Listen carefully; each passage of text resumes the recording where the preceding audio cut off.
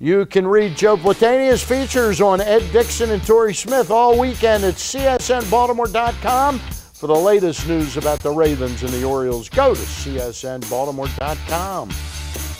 And we are back on Inside Press Box, presented by Friedmont Mortgage. Now that the NFL lockout has ended, the Ravens have been getting ready for the 2011 season. Here to tell us about the latest Baltimore football news is Joe Platania of Press Box. And Joe, uh, this is like nothing we've ever seen before, isn't it?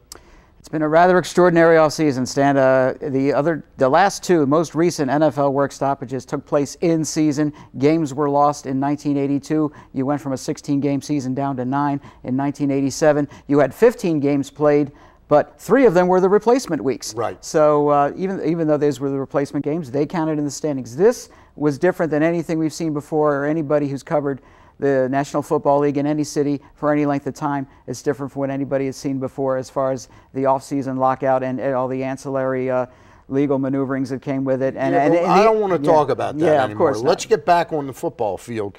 Uh, were you shocked at the four cuts the Ravens made right out of the gate?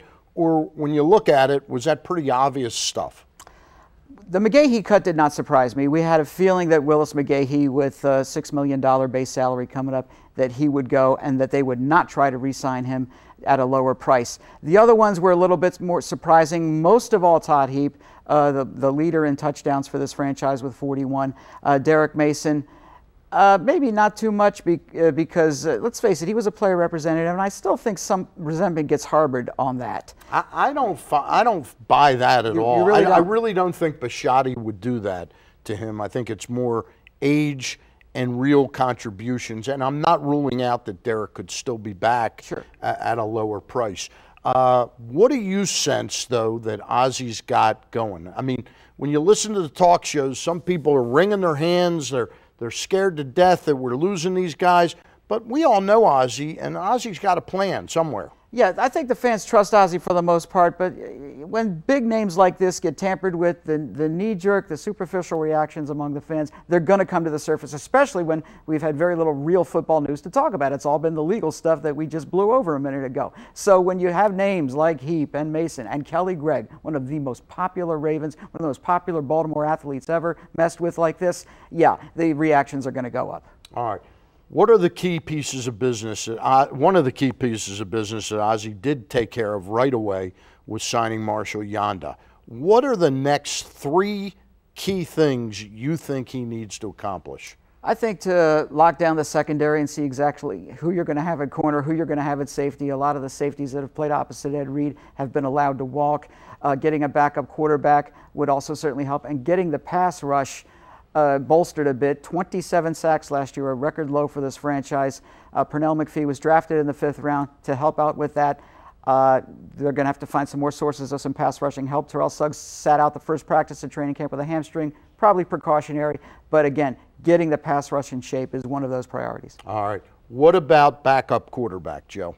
And and how good a chance do you think they have at re-signing Marc Bulger? I'll tell you what, if you'd asked me that a couple months ago, I would have said a very slim chance of re signing Bulger because it looked like he was earmarked for one of uh, three or four teams. But then he goes on an Arizona radio station and says he doesn't want to play there, and then they went and traded for Kevin Kolb anyway. So I think there's a better chance now that Bulger will stay.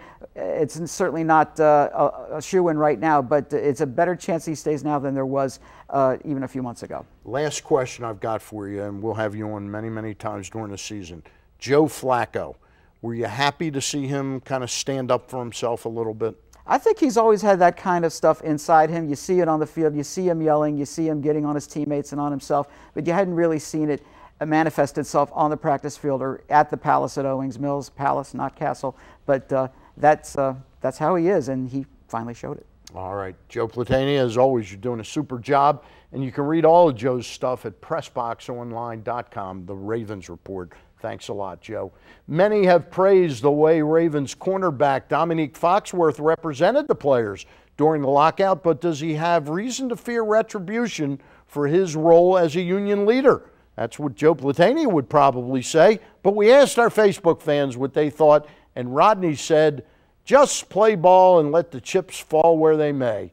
And we thank you, Rodney. If you want to join in the conversation, visit PressBoxOnline.com and click on the Facebook logo to become a fan of PressBox.